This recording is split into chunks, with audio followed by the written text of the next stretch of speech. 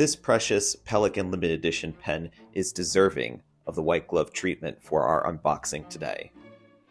It's really hard to believe that the Souverän family of writing instruments has been around since 1982, celebrating its 40th anniversary. This limited edition pen is paired with a bottle of Pelikan dark green fountain pen ink. The 40th anniversary Souverän fountain pen is sized in an M800 model.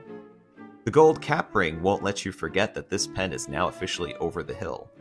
Pelikan pairs the iconic green striped barrel with gold appointments, grip section, piston knob, and of course, an 18 karat gold nib.